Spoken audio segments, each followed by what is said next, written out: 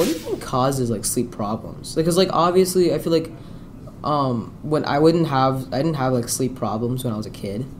I definitely have them now, Mm. but I had them a lot more like a year ago. But I didn't have any like regulations to my phones. I was just on it all all all day. I mean, now I if I had the choice not to put regulations, I would, but they're kind of set by my parents, and I'm I'm thankful for that because if I didn't have that, I would definitely never sleep. all day? Yes. Yeah. Me, I don't have problem sleeping at all. You like don't? no, because like five minutes after I get in bed, I'm already asleep. You think you're Mm. tired? Like Hmm? you're just always No, tired? I'm not tired. Like really, it's just that my bed's just so comfortable. That's cool. What, what about you, Rohan? What, what is your sleep sleep schedule like? Is it bad? Really bad. It's really, Really bad. Oh, are you trying to work on it? Yeah. Yeah, that's good. Right now I'm getting like seven to six hours per sleep. I'm trying to get to eight. Mm. Yeah. I think for me, when I when I was when I was younger, I used to get a lot of sleep, like nine or ten hours. I I think. yeah. But then um, it's, it's until I got into like sixth grade or something like that. When I turned like twelve, I just started to stay up really late because um.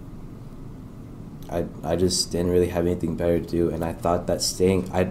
I just didn't like going to sleep and just starting a new morning, like like Yeah, restarting, like restarting your- everything, Yeah, like all yeah, that yeah. progress lost. It's like it's like it's like restarting your whole entire day and just starting back from square one. Yeah. And and then and like getting to like talk to everybody all over again. Sort of. It's it's a little annoying. That's why I, I just slowly stopped getting more and more sleep. I well I started getting less sleep. Yeah.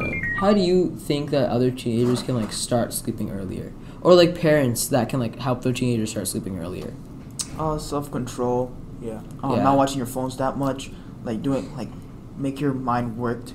hmm Like if obviously the kid is gonna want to have it, Mm-hmm. because if I didn't want to go to sleep, if I wanted to stay up late, I'm not gonna be able to go to sleep. Mm. Like the child or like the, the the teenager has to want to be able to like do better in school. He has to have that motivation, or they have to have the motivation. Because if you don't have the motivation, there's no need for them to like you know go to sleep early. But they need a discipline as well. Yeah. Yeah. Too much dopamine. hmm Dopamine. Oh, dopamine. Oh, dopamine. Okay, I thought you said something else for a second. oh yeah. So do you think like they're getting like too, like too, their mind is too engaged before they go to sleep? Yes, Yeah, definitely. definitely. Yeah. Because they're like mindlessly Yeah. scrolling on TikToks, Yeah. Instagram Reels, I and never, YouTube Shorts. I never realized that if you're like, I always thought like if you get, if you like get like adrenaline in you, you get tired and everything, you go to sleep faster. But like, that's not how it is. Like if you're like playing right before you go to sleep, you're gonna like, you're not gonna be able to go to sleep. Mm. You have to like have Yeah. that mindset.